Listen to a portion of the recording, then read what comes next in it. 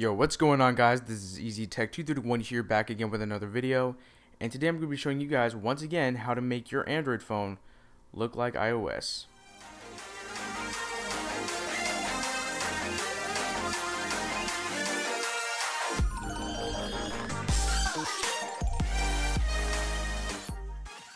Alright, so I've been getting tons and tons of messages and comments asking me to remake my iOS on Android video, uh, which actually happens to be my most viewed video as of now.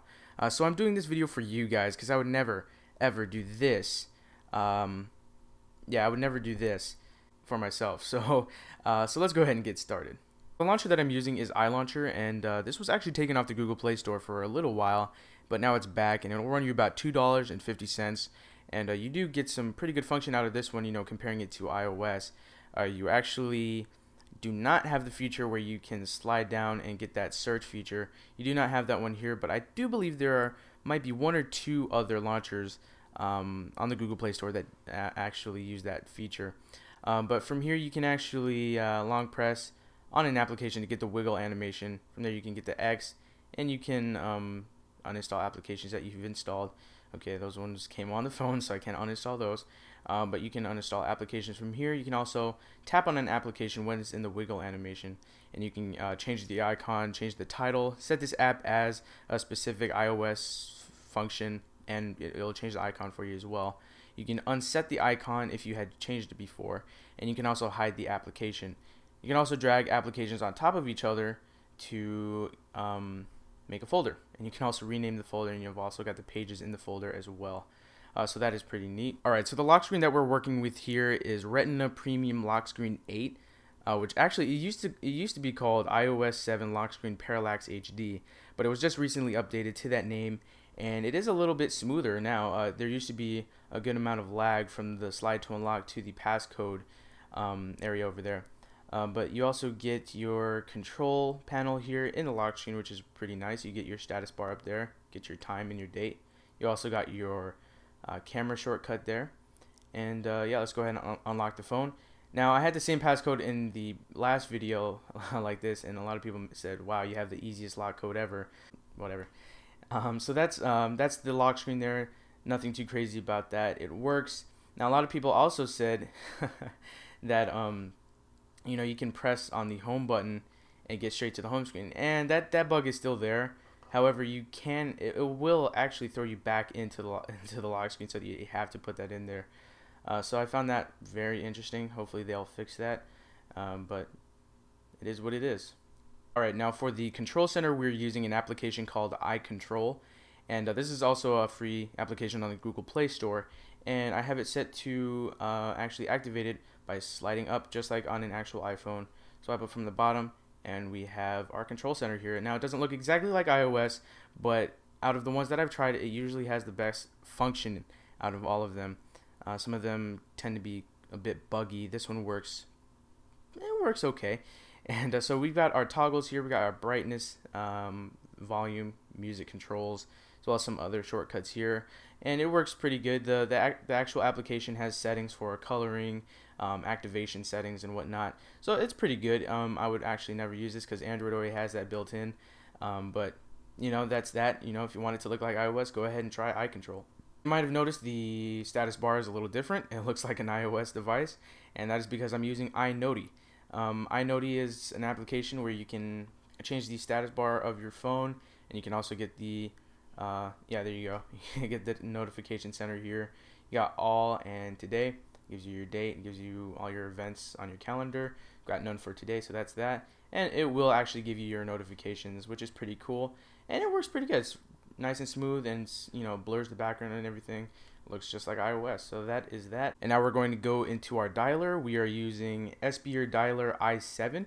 Uh, this one will actually change your call screen as well uh, for when somebody's calling you and when you're on the phone with somebody it'll actually change the the look of your screen um, and you got your regular dialer here and you just you know dial you got your favorites you got your recents got your contacts keypad which is what we're on now and you got more so that's where the settings are going to be found um, and yeah I mean that's pretty much it now that's the dialer all right now for the keyboard we are using uh, Go keyboard with an, IO, an iOS 5 theme and uh, yeah, this one works. Eh, it works okay. It's again, it's Go keyboard, so it's not an actual iOS keyboard. It's just got an iOS skin on top of it. This one's more of an iOS 8 look and feel, um, but it works okay. And since it is Go keyboard, you do get the swiping function and everything. Uh, so that's that. But if you want something that's a little more light, something that's more like the iOS 7 keyboard, go ahead and try the iPhone 5s keyboard iOS 7, and you'll get this keyboard, which actually looks pretty cool. It works okay and uh, yeah, it's got the little key pop-up thing there. You got your uh, your numbers and everything else there. And uh, if you'd like, you can also try my personal favorite keyboard, which is Fleksy Keyboard, uh, which will be coming to iOS 8 because you know Apple is allowing third-party keyboards on iOS 8. So Fleksy will be available for that. So go ahead and try that one out as well. So now for a music player, we are using an application called Easy Music. This application cannot be found on the Google Play Store. I found it on the iLauncher website, um, and I will put the link in the description for you guys uh, so you can get this application. Uh, now you got your iOS look here. uh, you know, not much else to really say about it. It does work. It's not as smooth as an iOS uh, as an iOS device. Um, as you can see, you got the rest of the songs that are that will be in the album and back here you got the album here you got your playlist artists songs albums and genres on the bottom here it works okay. It's not really that great. I would never use it as a primary uh, music application. But if you, again, if you want your phone to look like iOS, go ahead and check out Easy Music. All right, now for the gallery, we're using something called Cool Cool Gallery, if that's how you say it. And uh, this one doesn't really look like iOS. Uh, now it's almost there. It's the closest I could really get.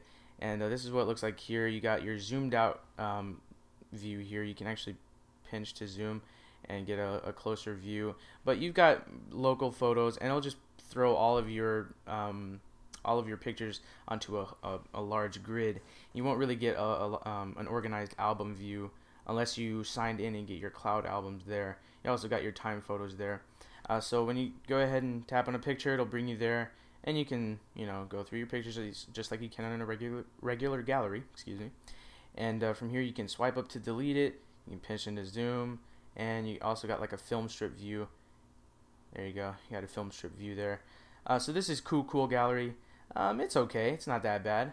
Um, you can also uh, do a slideshow which is nice where you can rotate it left or right set this picture as and you also got your details here. So it works so so it's not the best. Uh, but again this is the closest I could get to an iOS look and feel. Alright, for SMS, we're using Go SMS Pro with the Go SMS Minimal iOS 7 theme. And uh, yeah, I'm texting myself here. Texting myself yesterday when I first tried this out, just to see what it would look like um, on camera, so I wouldn't really show any of the uh, phone numbers that are in here. But you can go ahead and type to compose a message, and it will send. And it looks a lot like iOS.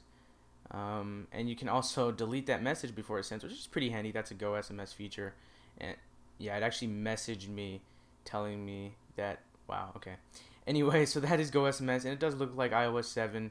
Uh, so go ahead and check this one out if you're interested in making your SMS look like iOS.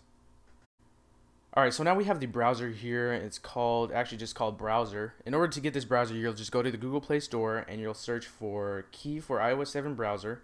And there you'll find a Dropbox link to download the actual APK itself. Because the key on the Google Play Store is actually just to unlock the full version. Alright, so let's go ahead and check it out here. This is a very, very, very, very basic browser. Nothing to it. You know, it's just do what you want to do. View some web pages. That's that's really all it does. Um, I'm not sure about Flash support. Didn't bother to check because you know you got to sideload it to get Flash anyway. So, uh, so you know, viewing web pages pages is simple. It's pretty smooth. You got your refresh button. Got your menu button here to show your history. Add this page to your, your bookmarks. Add it to your home screen as a link and uh, switch between mobile and desktop versions of the site and exit the browser, which is what I'm about to do in any second. Um, settings, and you also got your forward and back buttons here. You got your share button, bookmarks button, I believe, and your tabs button here. And switching between tabs there. So it does what it needs to do, browse web pages, and that's pretty much it. And on top of that, does look like iOS. Last and certainly least, we have a calculator. It's it's a calculator. What else are you gonna say? It it's a calculator with ads. Fantastic. It's just a calculator. Alright, so that pretty much wraps it up for this video, guys. Thank you guys for watching. Hopefully you, you were able to make your Android device look and feel a little bit more like iOS. Uh, maybe you wanted to fool your friends, or maybe you just really didn't like Android that much and you really wanted iOS. I question why you didn't get an iPhone. But anyway, if you just wanted to have this just for fun, uh, you know, just to fool your friends, then that is cool. Um, so hopefully this video was um, helpful to you guys out there. Uh, so again, thank you guys for watching, and uh, so hit that subscribe button. It really helps out. You guys are awesome. Leave a like and a favorite, and share with your friends. Um, so yeah, that does it for this video, guys. And uh, yeah, follow me on Twitter, EasyTech231. I'm also on Google Plus. And uh, yeah, take it easy, guys. Peace.